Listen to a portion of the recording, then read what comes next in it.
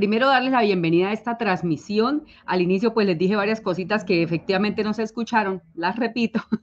Aquí abajito hay una flechita hacia la derecha eh, que quiere decir compartir. Pueden compartir esta transmisión con sus amigos, con sus familias, con toda la gente. ¿Qué pasa con, este, con esta temática que voy a abordar ahorita? Si usted tiene hijos, sobrinos, familiares, amigos, desde tercero primaria y hasta la universidad, este material le va a servir bastante porque normalmente en el estudio de la lengua castellana lo que más se nos dificulta, digamos, en la lingüística es la gramática y la sintaxis. Entonces, si usted tiene personas o, usted desea también saber, pero si hay alguien estudiando o que va a presentar concurso docente o prueba saber, por ejemplo, o está preparándose para alguna evaluación, alguna prueba, este video es para usted. Entonces, aquí abajito hay una flechita hacia la derecha que dice compartir. Eh, lo puede compartir en Facebook, eh, por WhatsApp, en donde quiera. Ahora sí, vamos a empezar esta transmisión. Cualquier pregunta que surja ah, durante la transmisión, me pueden escribir acá en el chat y yo en su momento voy despejando entonces sus dudas. Vamos a empezar acá porque tengo una presentación muy chévere para ustedes sobre gramática, sintaxis y morfología. Entonces, vamos a empezar por eh, definir la gramática. La gramática es la parte de la lingüística que estudia la estructura de las palabras y sus accidentes, así como la manera en que se combinan para formar oraciones. Esto incluye morfología, la sintaxis y, y también se incluye un poco la fonología.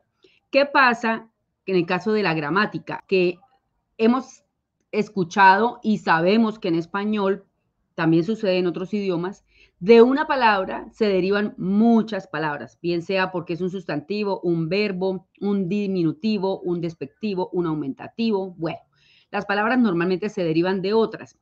A esto es a lo que le conocemos como accidentes gramaticales y eso lo vamos a ver aquí. ¿Qué es un accidente gramatical? Cada una de las modificaciones que sufren en su forma las palabras variables para expresar diversas categorías gramaticales.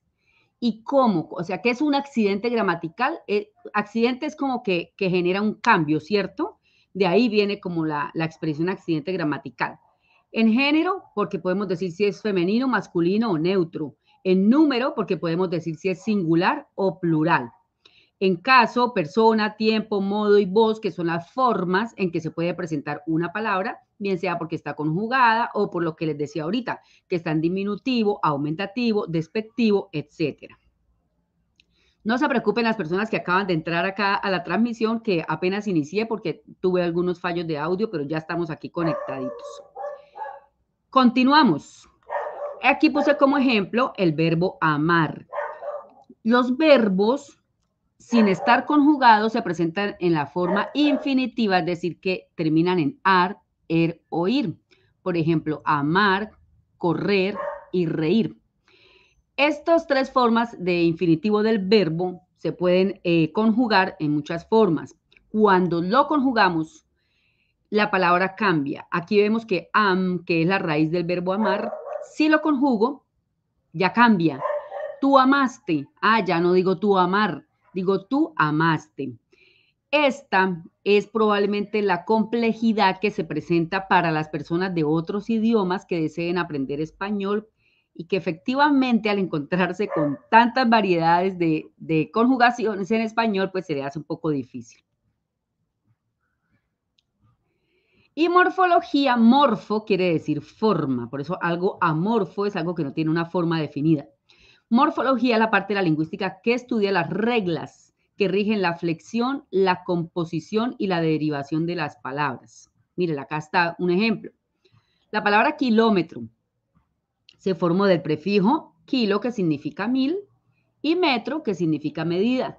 Si digo kilogramo, entonces ya no significaría lo mismo y la forma de la palabra cambia y eso pasa con muchas palabras del idioma castellano. Ahora, la concordancia hace parte de la morfología en cuanto al género y al número. Una palabra, si la leemos, sabemos si esa palabra es del género masculino o femenino, si es singular o si es plural.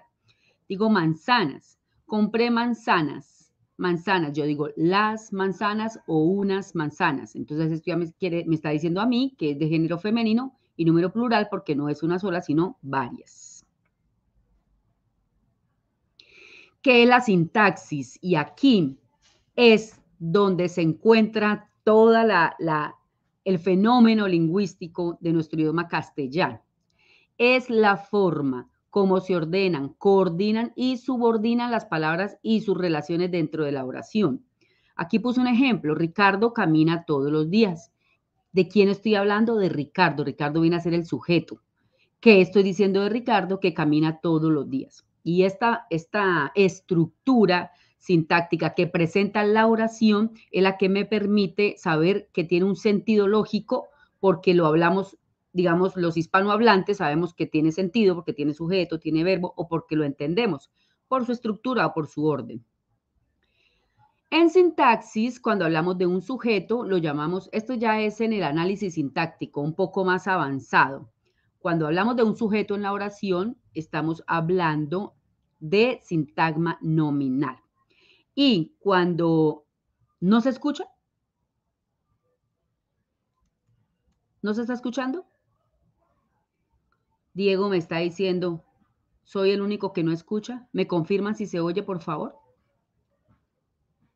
Hola, hola, hola.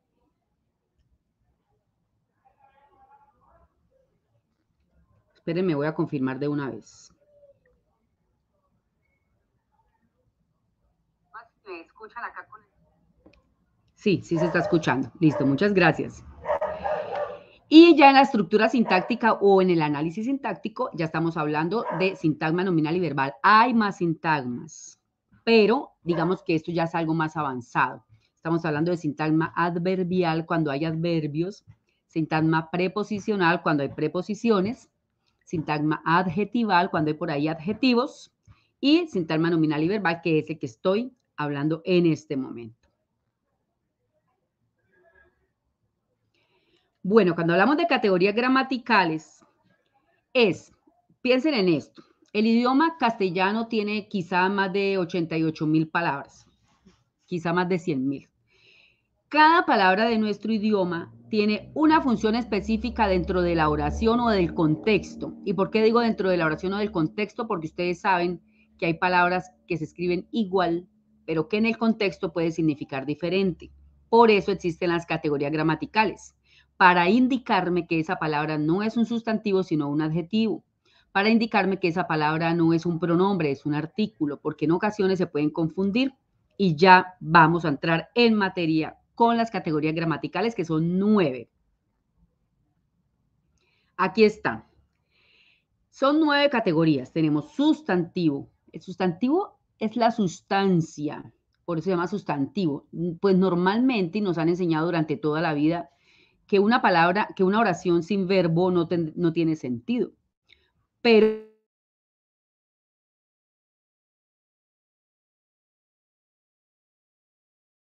algo que esté realizando esa acción, pues tampoco tendría sentido. Entonces, por eso se llama sustantivo. Adjetivo, artículo, pronombre, verbo, adverbio, preposición, conjunción e interjección. Digamos que todas las todas las palabras del castellano deben pertenecer a una de estas categorías gramaticales. Ah, bueno, ahí lo puse. Esto quiere decir que cada palabra pertenece a alguna categoría. Espere, voy a esconderme para ver solamente la diapositiva. Y ahí dice, los niños jugaron en la calle. De cada palabrita que está aquí podemos decir su categoría gramatical. Los, que es artículo, niños, que es sustantivo, jugaron, que es el verbo, en, que es la preposición, la, que es el artículo, y calle, que es el sustantivo. Entonces, fíjense que de cada palabrita se puede hacer perfectamente un análisis. Ahora, si la analizamos sintácticamente y hablamos en el, idioma de los sintagmas, que fue lo que les mencioné ahorita, pues vamos a decir que el sujeto de esta oración son los niños. Esto quiere decir que el sintagma nominal de esta oración son los niños. De eso estoy hablando, de los niños. El resto del verbo para allá, eh, jugaron en la calle, es sintagma verbal. Y ahí también hay otro sintagma, pero no los quiero complicar, pero es como para enseñarles cómo es una estructura sintáctica. Lo que que cuando llego en la calle estoy indicando un lugar, ¿cierto? Como decir en el parque. Y como estoy indicando un lugar, me refiero a un adverbio de lugar. Esto quiere decir que aquí hay también un sintagma adverbial de lugar. Y estos son los análisis que se hacen porque lo que queremos es como escudriñar un poco cómo es que se estructura una oración y por qué hablamos así, ¿no? Efectivamente. Bueno, entonces, dependiendo de la información que me ofrezca la oración, voy a, leer acá. Sintagma nominal que tiene como núcleo un sustantivo, las clases poderosas. ¿De qué estoy hablando? De las clases. Puede sobrar poderosas. Lo que pasa es que le quise poner ahí el adjetivo, pero el sustantivo aquí es clases. Sintagma verbal que tiene como núcleo un verbo. Compran regalos. ¿De qué estoy? ¿Cuál es la acción en compran regalos? Comprar. Ahí está el verbo. Y eso sería un sintagma verbal. Sintagma adjetival, su núcleo es un adjetivo, eh, un adjetivo más importante, incluso en las clases poderosas, poderosas, eh, podría indicarme también un sintagma adjetival. Sintagma adverbial que tiene como núcleo un adverbio, bastante lejos. Ahorita les voy a mostrar cada una de las categorías, no se me preocupen. Y el sintagma preposicional, eh, que está precedido de una preposición. Ya ahorita voy a leer el chat porque quiero interactuar con ustedes. Vamos con el sustantivo. El sustantivo, que también se conoce como nombre, es la palabra que se emplea. Cuando estábamos pequeños nos dijeron personas, animales y cosas, ¿cierto? Pero también puedo hablar de entidades, de conceptos, de fenómenos, ya sean concretos o abstractos. Porque si yo digo, eh, vi un fantasma, mm, usted puede imaginarse un fantasma, la palabra fantasma es un sustantivo porque usted puede hablar de eso. Si yo digo, em, el concepto no me quedó claro, ¿de qué estoy hablando? Del concepto. El concepto no lo podría dibujar casi que ni representarlo, pero estoy hablando del concepto. Esto quiere decir que concepto es sustantivo. Es abstracto, pero es un sustantivo porque estoy hablando de eso. ¿Listo? En este caso puse las mariposas son azules y aquí el sustantivo es mariposas. Y acá está el análisis, que lo que hablábamos al inicio. ¿Qué puedo decir de un sustantivo? El género, el número y además puedo decir si es concreto, común, derivado, etc. Y aquí viene todo, todas las características de un sustantivo.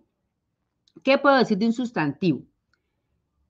De género, si es femenino o masculino, sí lo puedo decir de un sustantivo. Puedo decir si es singular o plural. Puedo decir si es concreto, es decir, que si puedo verlo o representarlo, como es el caso del fantasma abstracto, que son entidades no concretas, fenómenos, ideas o conceptos. Común, si es un nombre genérico no propio. Por ejemplo, si yo digo el río Cauca, la palabra río es un sustantivo común. Ya el sustantivo propio sería la palabra Cauca, porque es el nombre del río. El colectivo designa un grupo de seres de la misma especie, como por ejemplo colmena, manada, etc. Simple si está formado por una sola palabra, que la mayoría de los sustantivos son simples, cuando son derivados es, por ejemplo, cuando yo digo eh, parabrisas, ¿sí? Está formado por dos palabras.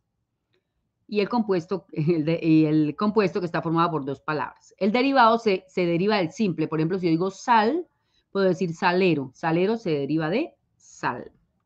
Bueno, aquí tengo un ejemplo, porque no lo voy a poner todo, si no, no acabamos hoy. Un ejemplo, la palabra colmena. ¿Qué puedo decir de colmena? Yo digo la colmena. Ah, bueno, femenino. ¿Cuántas hay? Una sola, entonces es singular. ¿Lo puedo ver? ¿Lo puedo representar? Sí, entonces es concreto. Y además es un sustantivo colectivo porque me agrupa seres. ¿Listo? Y otro ejemplo con la palabra concepto, que ahorita les dije, puedo decir que es masculino el concepto. Puedo decir que es abstracto porque no puedo verlo ni representarlo. Y es simple porque no hay no está derivado de otra palabra, es una palabra que está, digamos, la original. Vamos a hablar del adjetivo. El adjetivo es la palabra que acompaña al sustantivo que lo determina para calificarlo. Normalmente, ojo a esto, nos enseñaron que el adjetivo es como cualidades y defectos, pero no se imaginan que los adjetivos son muchísimos y no son solo cualidades y defectos. Es una palabra que me acompaña al sustantivo y que me ofrece información del sustantivo y ya voy para allá. Acá está. Hoy compré un libro de pasta verde, nos bañamos en un río pequeño, las ovejas son blancas y mansas, mi tío es millonario, me llevé un gran susto, el vecino es artesano, el aviso de la calle es altísimo, la amiga de mi hijo es buena persona. Vamos a comentar aquí en el chat cuáles son los adjetivos que se presentan en cada una de estas oraciones. Hoy compré un libro de pasta verde, ¿cuál será el adjetivo? Nos bañamos en un río pequeño, ¿cuál será el adjetivo? Las ovejas son blancas y mansas. ¿Cuáles serán aquí los adjetivos? Mi tío es millonario. ¿Cuál es el adjetivo? El vecino es artesano. El aviso de la calle es altísimo y la amiga de mi hijo es buena persona. Vamos a poner aquí en, el chat cuáles consideran ustedes que son los adjetivos de estas oraciones. Los leo. Voy a mirar acá el chat.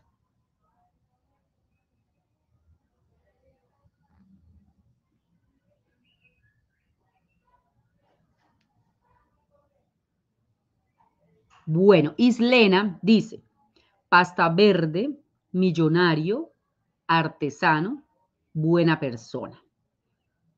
Muy bien, Islena. Va por ahí. Muy bien. Pequeño, muy bien, que es la característica del río. Laura, muy bien.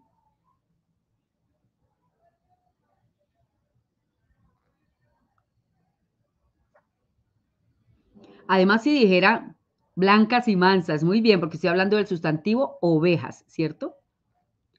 Además, si solamente tuviese yo la oración pasta verde, ¿cuál sería el adjetivo entre pasta y verde?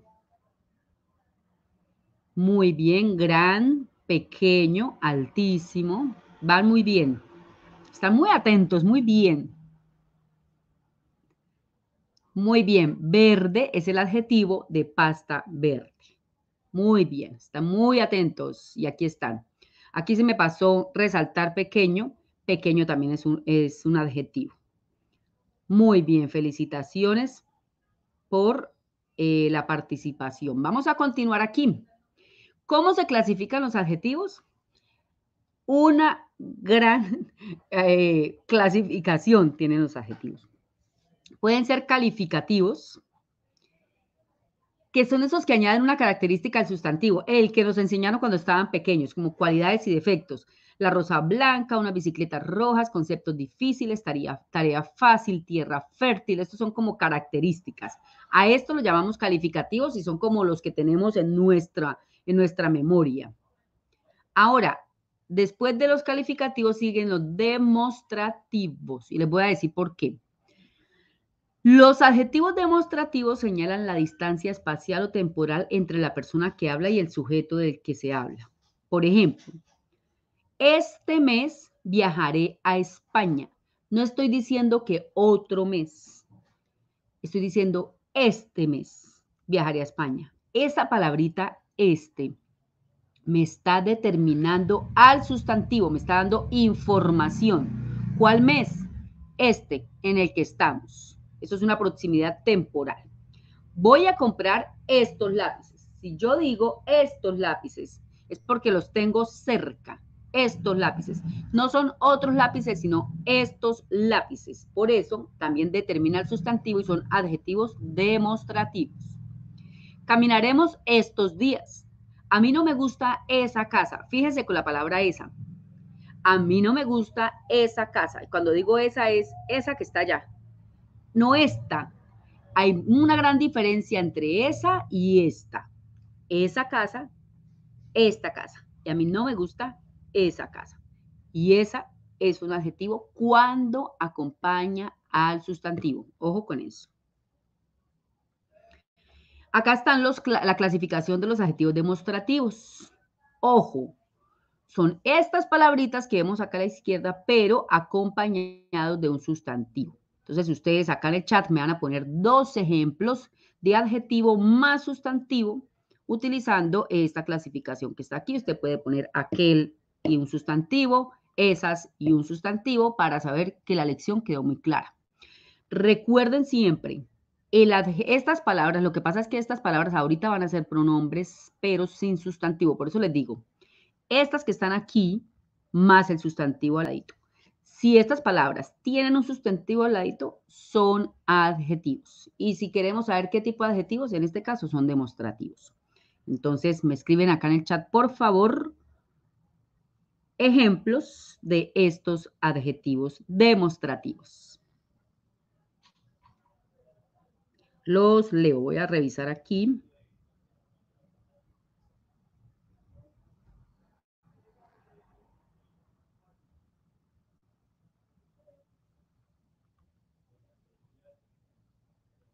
No se preocupen si sienten que se están equivocando, si esa no era la frase o la oración o ese no era el ejemplo. Yo los voy a leer acá y vamos entre todos a aprender. Pónganme aquí ejemplos de adjetivos como los que puse aquí, acompañadito de sustantivo. ¿Listo? Les voy a ayudar por aquí.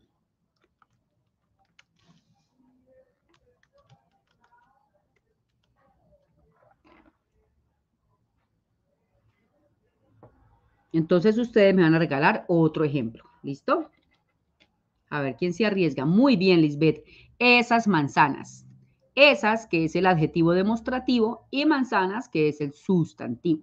¿Qué podemos decir de ese ejemplo que puso Lisbeth? Que es de género femenino y que está en plural.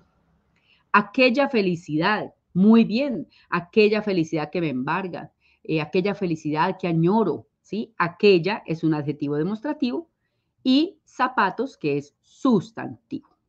Marlon dice aquellas montañas. Muy bien, cuando hablo de aquellas son aquellas. No son estas montañas, sino aquellas montañas. Aquellas es el adjetivo. Esos lápices, muy bien, esos que están allá. Este teléfono, estos alumnos, esta alegría. Muy, muy bien. Muy bien, acá los voy a felicitar en el chat porque estamos en una clase magistral. Vamos a continuar con los adjetivos posesivos. Recordemos siempre que estas palabras, como son un poquito complicadas, no ahorita, van a ser complicadas cuando veamos los pronombres. Piensen siempre que el adjetivo acompaña al sustantivo, ¿sí? Si está acompañando al sustantivo, es un adjetivo. Vámonos con los posesivos. La misma palabra lo dice. Posesivos, ¿qué quiere decir? Posesión. Es de alguien o son de alguien.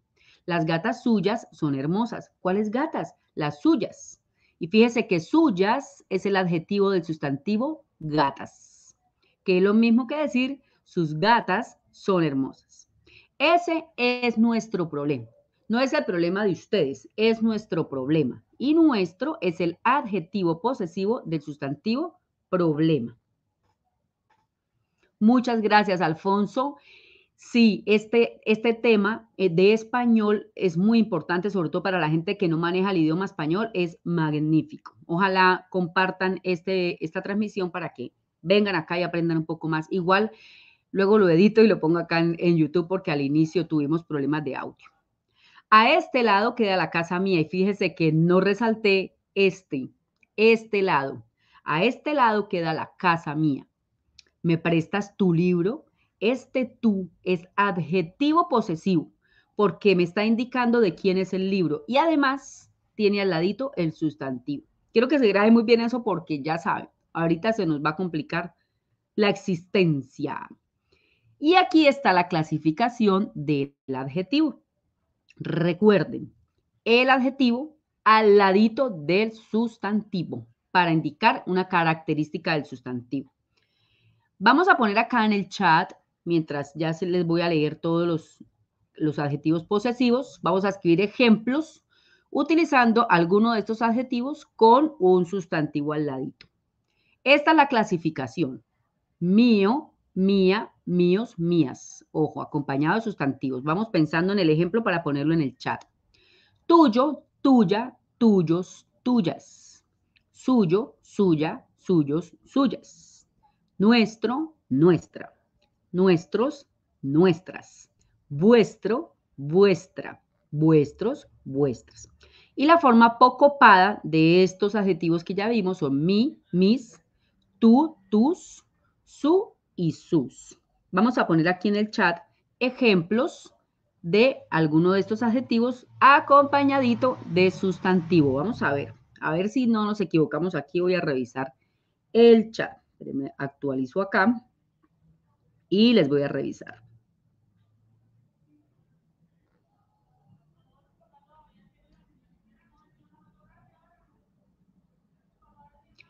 Bueno, vamos a arriesgarnos, vamos a escribir el adjetivo acompañadito de sustantivo. Tus clases, muy bien. Nuestras casas, excelente. Así está bien. Tus clases, nuestras casas, excelente. En este caso, tus es el adjetivo posesivo y nuestras. Muy bien, Islena. ¿Quién más se arriesga con ejemplos?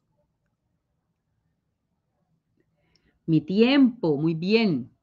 Ese es mi tiempo. Ay, que acompáñeme a tal lado. No, no puedo. Ay, pero es que usted nunca tiene tiempo. Sí, pero es que es mi tiempo. ¿Sí? Mi tiempo. Muy bien. ¿Qué otros ejemplos? Su vaso de agua. Muy bien. Su vaso. No es mi vaso de agua, es su vaso. Su es un adjetivo posesivo. Muy bien. Cuando analizamos sintácticamente una oración, y eso cada vez que yo explico el adjetivo, pues eh, los expertos eh, me recuerdan que estas palabritas que ustedes están utilizando son determinantes, pero eso es, en, digamos, en el análisis. Hay un arbolito que uno arma con sintagma nominal, verbal. Cuando uno saca el sintagma nominal, si hay por ahí un adjetivo, a eso le llamamos determinante o un artículo, pero eso es en el análisis. Hoy estamos hablando de las categorías gramaticales. ¿Listo? Nuestras mascotas, muy bien, no son las mascotas de ustedes, son nuestras mascotas. Nuestras es el adjetivo. Vuestra clase, muy bien. Esta es vuestra clase. Muy bien. Vámonos con el siguiente. Vámonos con los indefinidos. ¿Qué pasa con los adjetivos indefinidos?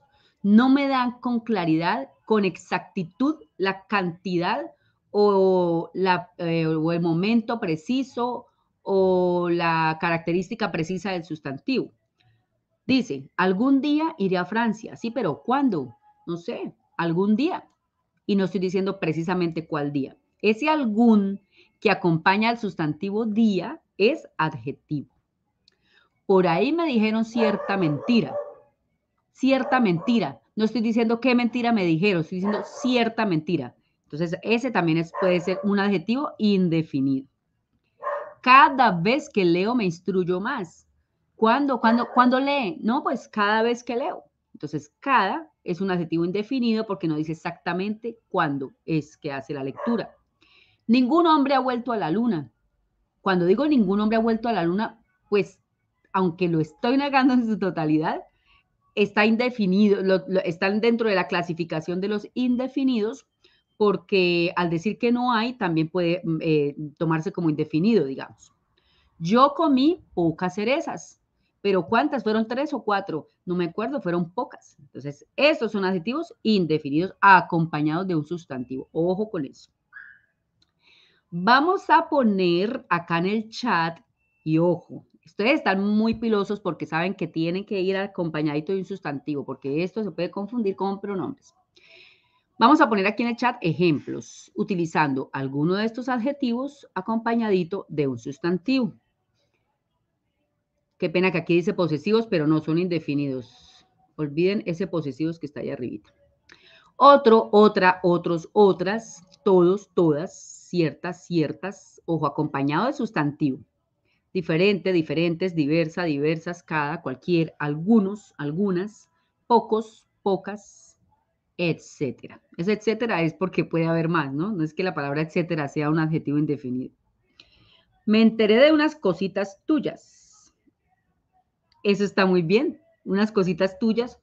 ¿Cuáles que dijeron? No, por ahí me dijeron unas cositas. Muy bien. ¿Qué más ejemplos podemos dar aquí en el chat? Mis estudiantes pilosos hoy. Recordemos que debe haber un adjetivo acompañado de un sustantivo.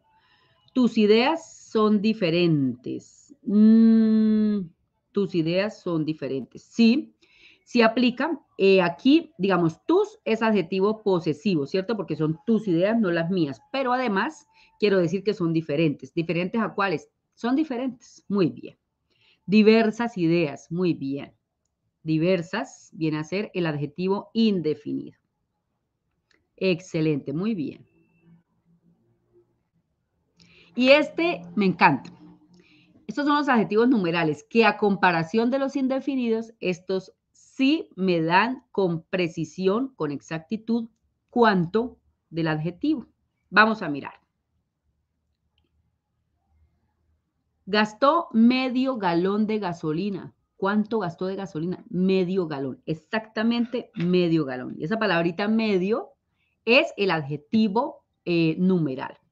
Pasaron tres años después de su graduación. ¿Cuántos años pasaron? Tres. Fíjese que está acompañado del sustantivo años. Medio galón, acompañado del sustantivo galón. Sofía vive en el tercer piso. Tercer, que es el adjetivo numeral, y piso, que es el sustantivo. Ahora vamos a ver la clasificación y prepárense para poner aquí los ejemplos. Entonces, los numerales se dividen así. Cardinales son los números del 1 al infinito. Ordinales, los que me indican orden, primer, segundo, tercer, etc. Múltiplos, cuando hablo de doble, triple, cuádruple, quíntuple, etc y partitivos cuando me habla de fracciones, ¿no? Medio, cuarta, quinta, etcétera. Vamos a poner ejemplos acá en el chat. Voy a poner yo un ejemplo, pero ustedes pongan ejemplos de este, de al menos de un adjetivo numeral.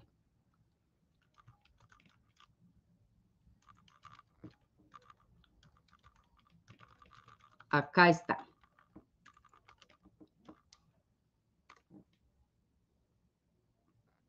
Me comí un cuarto de pizza.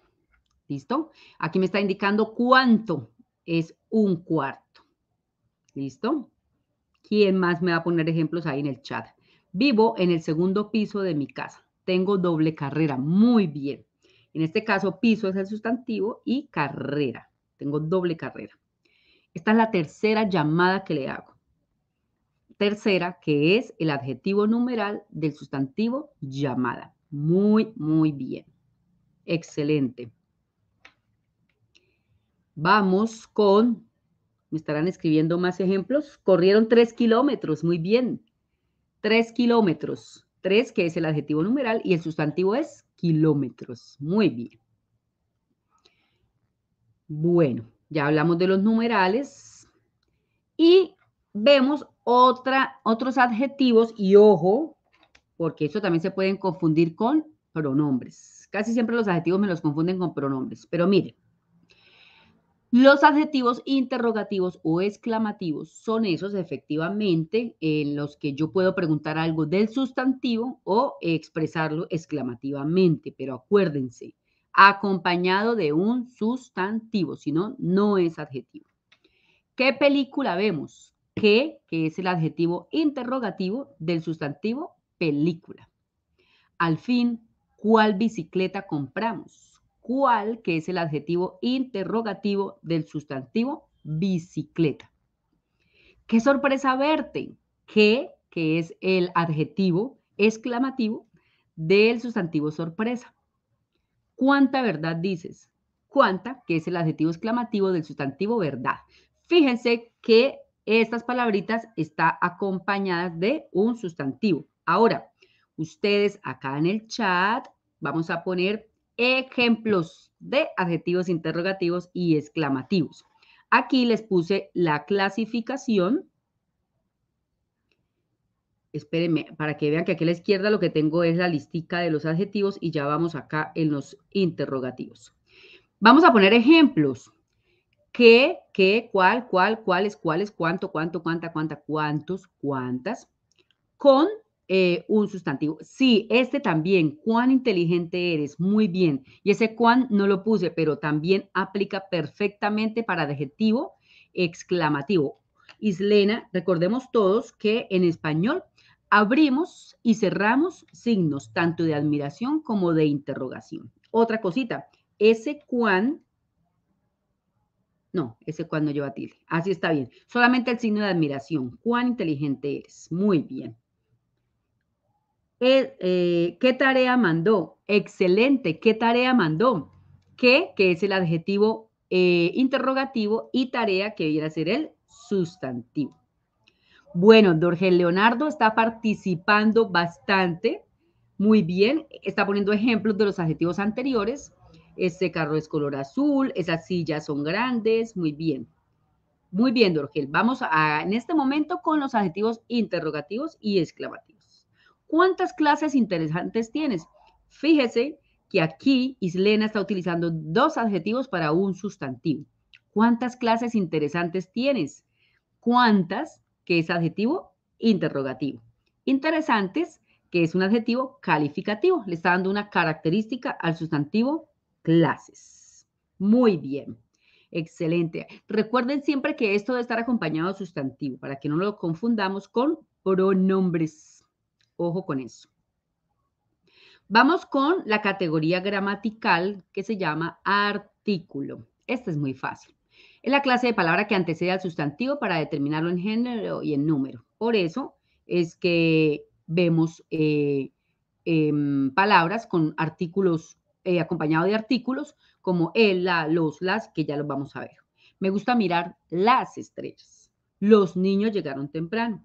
Quiero comprar una camisa. Viste unos hipopótamos que pasaron por aquí. Y se divide de esta manera. Me escondo un momento.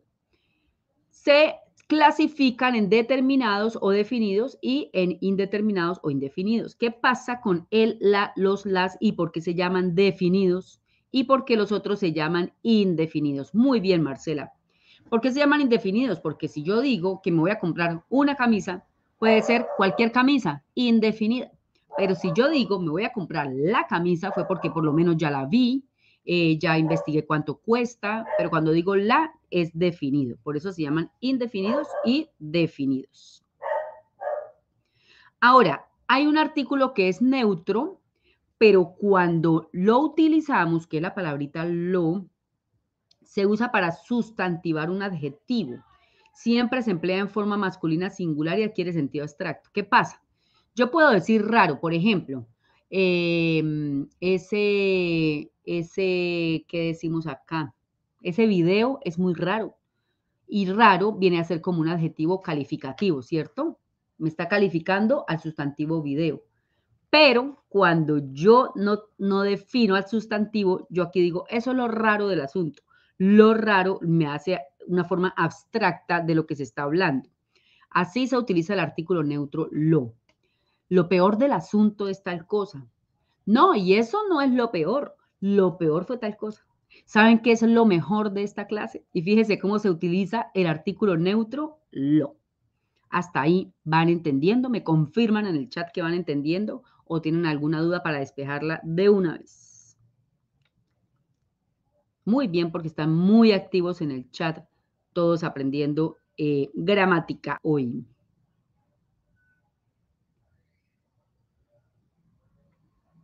Bueno, Ahora vamos con el pronombre.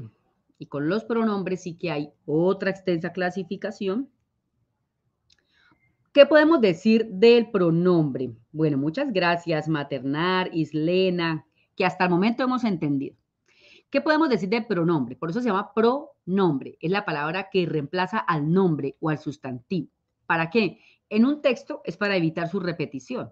Por ejemplo, si yo digo, eh, Paola me invitó a cine, y alguien me pregunta otra cosa, yo digo, sí, ella dijo que llegáramos allá. Yo digo ella para no tener que repetir el nombre Paola. ¿sí? Entonces, digamos que los pronombres me sirven para evitar eh, repetir el nombre al sustantivo.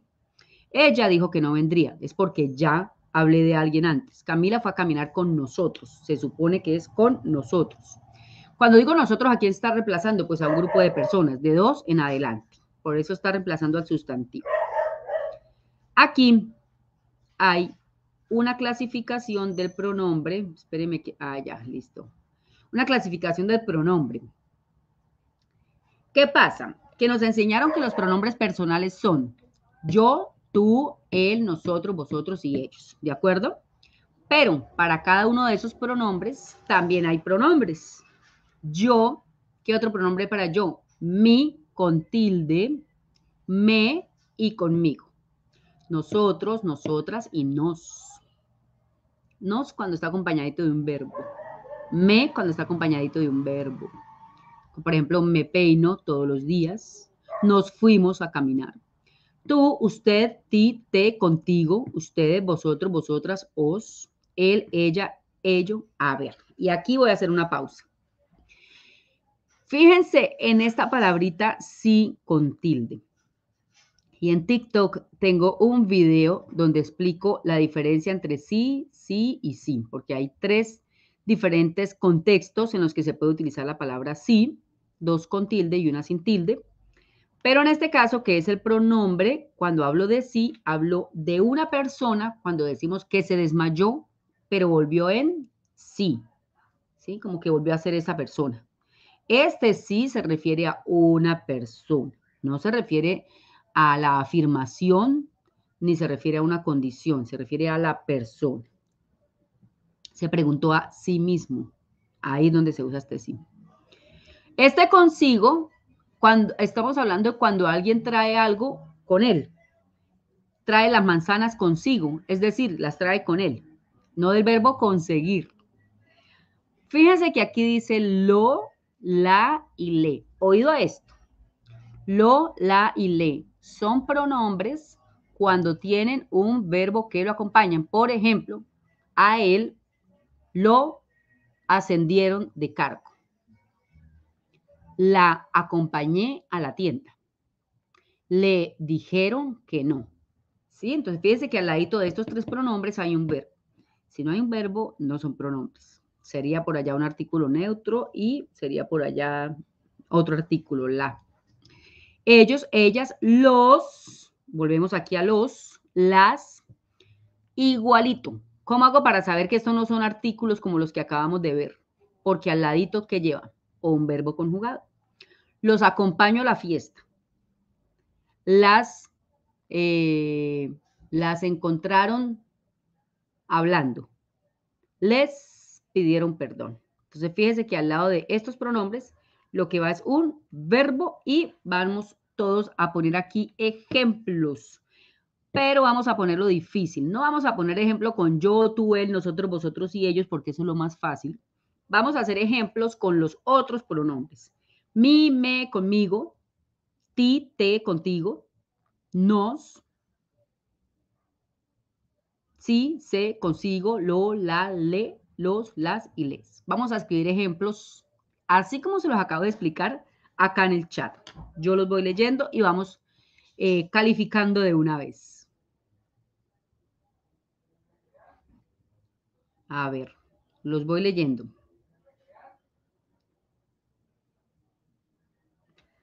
Ah, espérenme. Voy a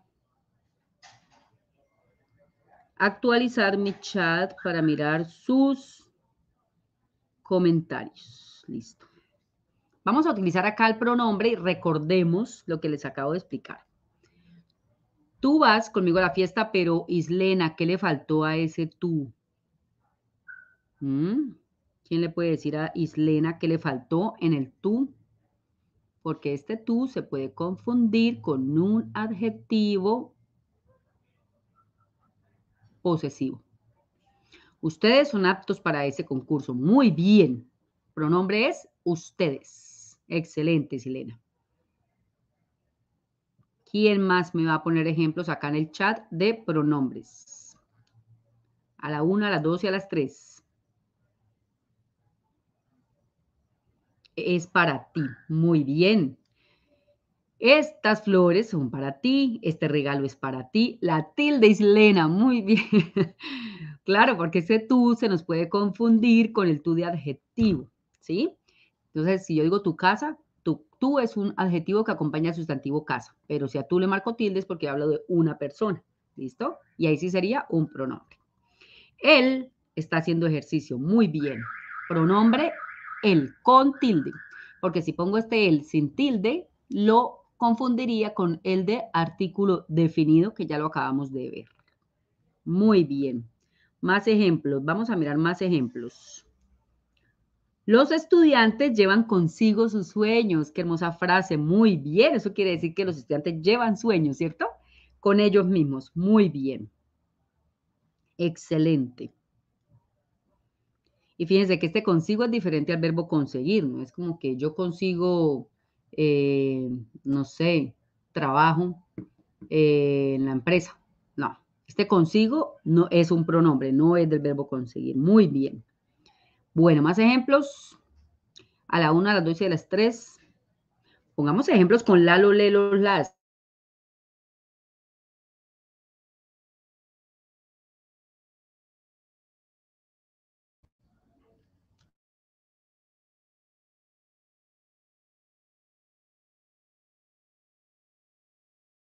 La verdad.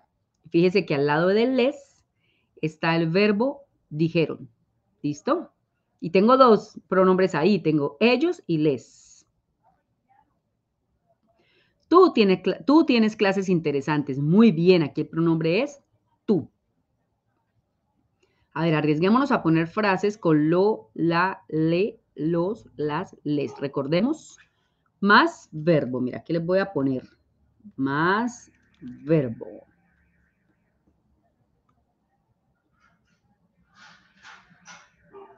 No, Marcela, acuérdese los más verbo, porque en este caso, si decimos los perros ladran, los vendría a ser artículo que acompaña al sustantivo perros. Por eso les decía yo ahorita, tenemos que pensar muy bien en cuál es la función de la palabra en la oración para no confundirlo con los pronombres, porque normalmente, y esto es, esto es común, confundir pronombres con adjetivos.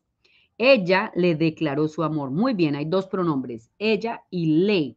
¿Por qué le es pronombre? Porque está acompañando al verbo declarar o declaró en este caso. ¿Listo?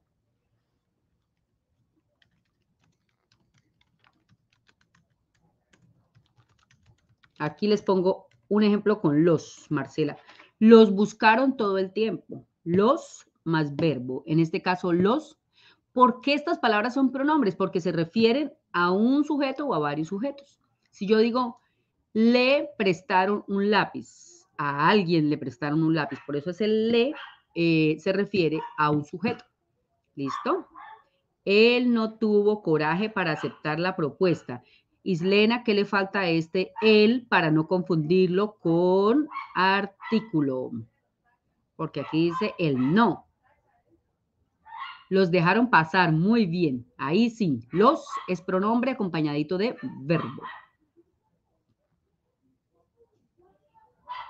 ¿Cuántos años tienes? Bueno, aquí todavía no. Ah, bueno, este aplicaría en el cuánto con sustantivo, eh, cuántos de adjetivos, de adjetivo interrogativo y años de sustantivo. ¿Cuántos años? Muy bien.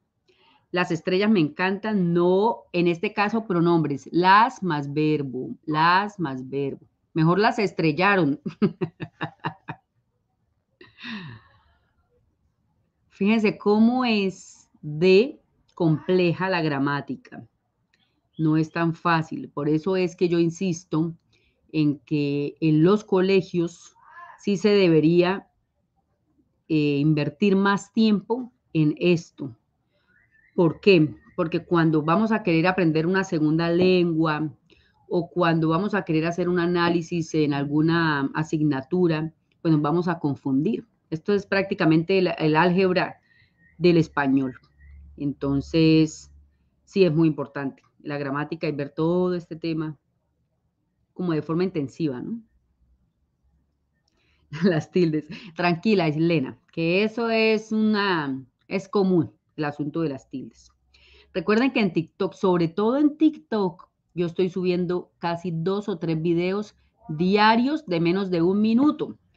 Tengo videos así, por ejemplo, eh, diferencia entre sí, sí, sí, diferencia entre C y C, diferencia entre mi y mi, diferencia entre más y más, que lo subí hoy, diferencia entre mm, T y T, tú y tú. Bueno, allá tengo videos por montón para que, ahorita no, para que después vaya. Aquí tengo algunos ejemplos de pronombres. Esas flores son para mí. Nos quedamos a dormir en la finca. Te traje unas frutas. Os digo que no veréis maldad alguna. Trajeron consigo la música y el vino. Le mintieron nuevamente. Los matricularon en el curso. Les preguntaron por su ausencia y fíjese que al ladito de los, les y le, lo que hay es un verbo conjugado. Esa palabrita está funcionando como pronombre. Vamos con el verbo, que el verbo es de la palabra que más se puede hablar, ¿no? Sabemos desde pequeños que los verbos son las palabras que indican acciones o movimientos. Pero si yo les digo a ustedes el verbo llover, ¿cómo conjugaríamos el verbo llover? Escríbame aquí en los comentarios. ¿Cómo conjugamos el verbo llover? ¿Mm? Los espero un poquito porque quiero explicarles acerca de la clasificación de los verbos. ¿Cómo conjugaríamos el verbo llover? ¿O cómo quedaría conjugado? Un ejemplo de cómo quedaría conjugado el verbo llover. A la una, a las dos y a las... ¿Cómo quedaría? Espérenme, actualizo acá el chat. Chan, chan, chan. Listo. ¿Cómo quedaría conjugado el verbo llover? A las una, dos y a las tres.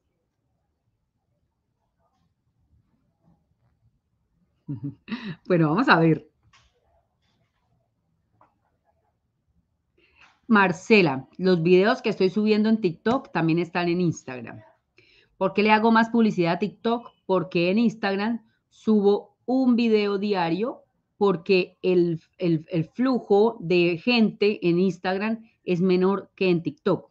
Entonces, estos videos de TikTok también los estoy llevando a Instagram. No se preocupen por eso, allá me pueden encontrar, me pueden seguir y pueden mirar todos los videos que tengo allá.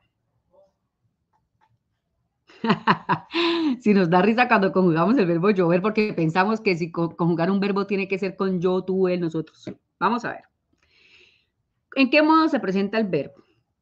Muy bien, Jayber, vamos por ahí. En indicativo cuando se refiere a hechos reales, es decir, un verbo conjugado normalmente eh, que represente una acción que se desarrolló, que se desarrolla o que se va a desarrollar, está en indicativo. Me está indicando un tiempo en la acción. Cuando hablamos del subjuntivo, y ojo a esto, estoy expresando el deseo, la duda o la posibilidad de que algo ocurra. Ahorita le explico cómo. Y el imperativo que me expresa mi mandato, súplica o ruego. Muy bien, Lisbeth. Vamos a ver. ¿Qué pasa en el modo indicativo? Pues que estamos conjugando los verbos en los tiempos. ¿Qué tiempos? Presente, pretérito, futuro, copretérito, pospretérito. Y estos mismos con el prefijo ante antepresente, antepretérito, antefuturo, antecopretérito y antepospretérito. Esto es un poquito complicado, pero no se me vayan a estresar, no se me vayan a ir. A ver, cuando hablamos de acciones en español, y esto es lo complicado para los extranjeros, que el español es el de los idiomas que más tiempos verbales tienen, lo que pasa es que tienen sentido. Todos estos verbos tienen sentido. Si yo digo en el presente, yo escribo una carta. ¿cierto? En el pretérito pasado yo la escribí. Si no la he escrito todavía, la escribiré. Si quiero decir que yo antes hacía eso, ya no, yo digo escribía. Yo escribía cartas, yo antes escribía, ya no. Y cuando hablo de pospretérito, estoy hablando de una condición. Yo escribiría cartas si tuviese tinta y una pluma, por decir algo. Entonces, fíjense que los cinco son muy diferentes. Y en los compuestos es cuando se acompaña de un verbo, aquí esto es una perífrasis verbal, y se le llama perífrasis porque efectivamente está acompañado de un verbo auxiliar, que en este caso es el verbo haber, que es el que acompaña a un verbo. Todo esto del indicativo. ¿Qué pasa con el subjuntivo? Si me está expresando que, que es lo que me representa el deseo, la duda o la posibilidad de que algo pase, pues yo digo, escriba, pero no como orden, ¿no? Eh, ojalá que escriba bonito. Fíjese que aquí estoy expresando el deseo de algo. Si yo escribiera todos los días, mi letra sería mejor. Y acá abajo puse, ojalá que yo escriba si yo escribiera. También puedo decir, eh, ojalá que haya eh, no sé, que haya llovido, por ejemplo. En el antepretérito, el hubiera, que me expresa también el subjuntivo, si hubiera escrito la tarea, no habría problema para hacerla. Ese es el subjuntivo, me expresa duda, posibilidad o deseo de que algo ocurra. Y en el imperativo, estoy expresando una orden. Es como decir el verbo, pero diciéndole a alguien que lo haga pues no siempre es como un regaño, ¿no? Porque yo puedo decirle, eh, haga la tarea sin regañar, pero sí es como un imperativo. Escriba, escribe, escriban o escribamos. como decir, ay, es que se nos perdió eh, un billete. Ah, bueno, busquemos, ¿sí? Es, está indicando como la, la acción de mandato. Bueno, los verbos en español, no todos son lo mismo, no todos se conjugan igual, no todos significan lo mismo, no todos tienen que tener eh, como complemento lo mismo, sino que son muy diferentes. Pueden ser regulares, irregulares, defectivos e impersonales. Pueden ser transitivos, intransitivos, copulativos, reflexivos, recíprocos y auxiliares. Pueden ser primitivos, derivados, simples, compuestos o prepositivos. ¿Qué pasa? Que por su flexión, cuando hablamos de verbos regulares, en español y en inglés, no sé, en otros idiomas creo que también. Cuando hablamos de regulares es cuando no cambia la raíz al conjugarse. Yo aquí pongo como ejemplo el verbo amar. Recordemos que al inicio les dije que el verbo amar, la raíz es AM. Eso, eso no va a cambiar. Cuando lo conjugo, no cambia la raíz. Yo amo, tú amas, es amable, es mi amigo, es mi amor. AM no cambia, la raíz no va a cambiar. Eso se llaman verbos regulares. Los irregulares sí cambian al momento de conjugarse. De los más irregulares en español, verbo ser. En el presente yo soy, bueno, conserva la S, ¿cierto? Pero en el pasado yo fui o yo era en el copretérito. Y fíjese que cambia totalmente su estructura. Entonces, esos son los irregulares los que cambian en su escritura. Los defectivos son los verbos que solo se conjugan en alguna persona. ¿Qué pasa? Que no se pueden conjugar con pronombres o personas o pronombres personales. Verbo acontecer, yo digo, ¿qué fue lo que aconteció? Pero yo no digo, yo acontecí, tú aconteciste, ¿cierto? Estos verbos defectivos se conjugan solo en algunas personas. Verbo suceder, verbo amanecer, anochecer, los impersonales son los verbos que solo se conjugan en la tercera persona del singular y no tienen sujeto. Y acá está el verbo llover. Acá lo tenemos. Normalmente los impersonales son fenómenos naturales, ¿no? Bueno, ahora, por su significado pueden ser transitivos y fíjense en esto. Los verbos que exigen de un objeto agente y uno paciente. ¿Por qué? Porque si yo digo lleva, necesito saber quién lleva y qué lleva o a quién le lleva, ¿cierto? Ese verbo no tiene sentido si no tengo un sujeto agente y un sujeto paciente o activo que me esté recibiendo ese verbo. Intransitivos son los que no solamente exigen un objeto agente, pero no, no un paciente. Yo puedo decir Carlos viaja y no tengo que decir ni a dónde, no me obliga, porque hasta ahí tiene sentido el verbo, digamos. Copulativos son esos verbos que no aportan significado pleno. Es decir, si yo digo el verbo ser, ¿qué significa ser? Eso se volvía como filosófico, ¿no? ¿Qué significa estar? Ya es como filosófico. En cambio, si yo digo, ¿qué es llevar? Tiene, tiene significado. Estos verbos copulativos eh, lo que hacen es unirme al sujeto y al predicado. Si yo digo, él es mi hermano, ese es es un verbo copulativo y toda la oración se convierte en una oración copulativa. ¿Por qué? Por el verbo copulativo ser. Eh, parece, eh, parece borracho. Ese parece es un verbo copulativo. Lo mismo estar. Reflexivos son esos verbos que recaen sobre el mismo sujeto. Por ejemplo, me peino. ¿Quién me está peinando? Nadie. Yo me peino. Es reflexivo. Yo misma estoy realizando la acción para mí tú te bañas. ¿sí? Eh, la acción recae sobre el mismo sujeto. Los recíprocos son esos verbos que recaen sobre los sujetos al tiempo. Se pelearon, se abrazaron, nos eh, aconsejamos. Los verbos auxiliares son los verbos que acompañan al principal. Yo digo anda diciendo, pero aquí el verbo principal es decir, pero lo acompaño del verbo andar. Puede llover, puede que el verbo poder y llueve del verbo llover, pero el principal es llover.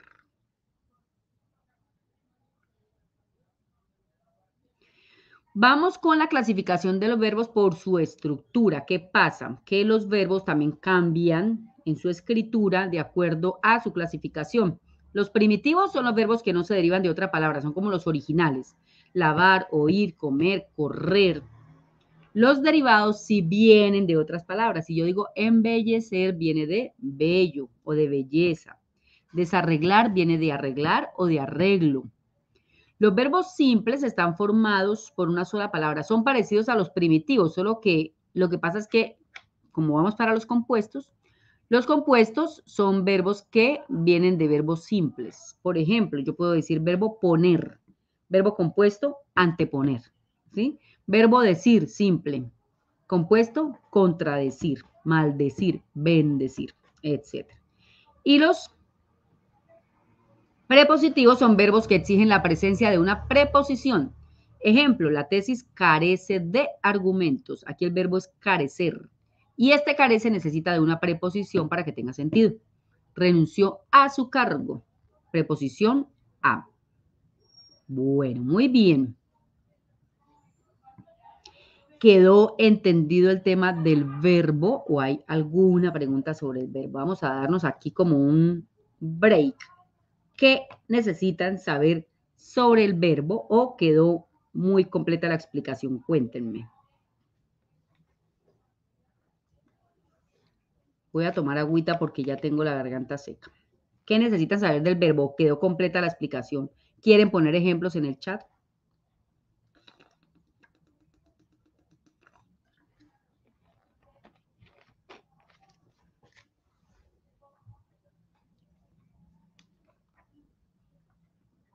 Perfecto. Entonces continuamos con el adverbio.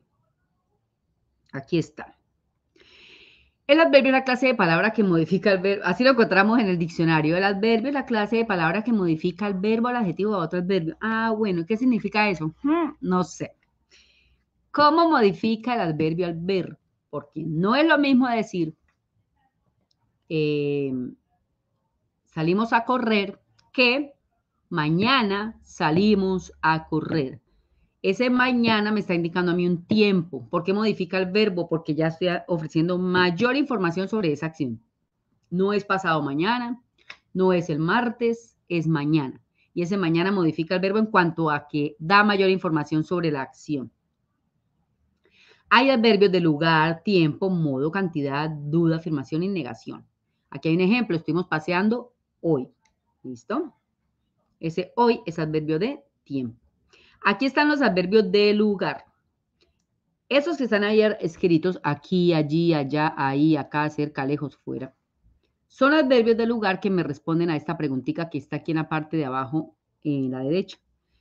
Me responden a la pregunta, ¿dónde? Vamos a poner aquí en el chat ahora una oración utilizando uno de estos adverbios. Vamos a arriesgarnos a la una, a las dos y a las tres. Mientras tanto, voy explicando los adverbios de tiempo. Aquí tenemos los de lugar. Venga, se los dejo un poquito ahí.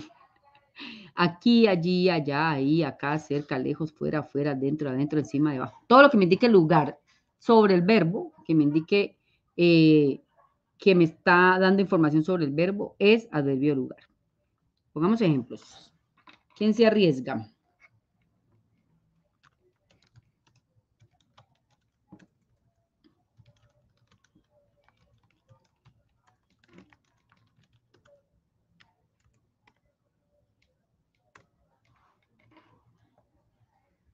Ah, puse uno de tiempo. Esperen, pongo uno de lugar.